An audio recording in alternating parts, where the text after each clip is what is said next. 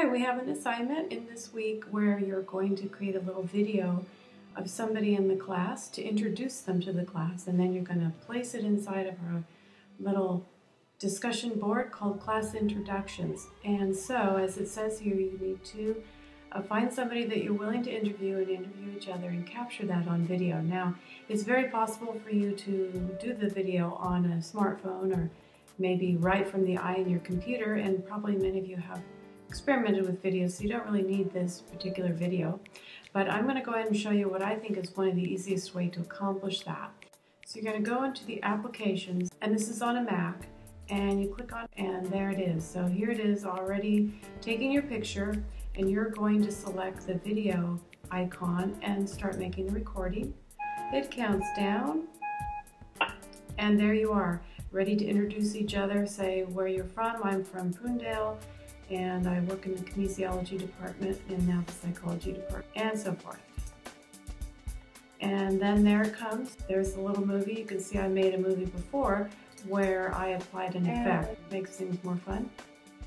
But I'd like to go ahead and use this one right here and I'm going to select it and I'm going to go up over here to where it says iPhoto and now it's going to make itself available to me here and now this is turned into a QuickTime file. So I'm going to go ahead and bring it down onto my desktop and I'm going to double click on it.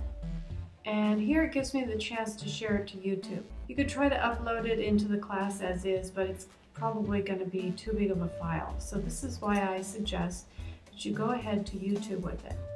And maybe you already have a YouTube account. If you don't already, I suggest you get one. It's free and it's really easy. So I have an account already and that's how I would go ahead and um, get it to send it up to YouTube. And now it's going to go ahead and upload it. You can change the title right here.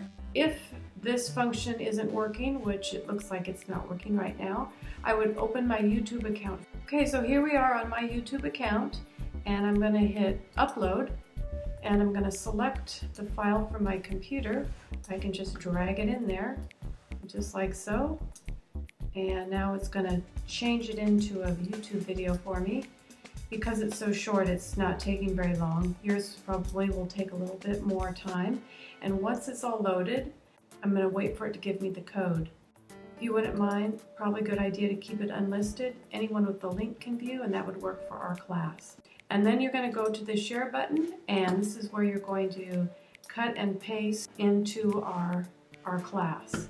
So this is the second step. You're going to click on class introductions and you're going to hit reply. Each person will reply to the next person. And then you're going to type right here our video. This is Denise. And then you're going to highlight it, click the little link button, and you're going to place that and you're going to place that link right there and hit post to forum.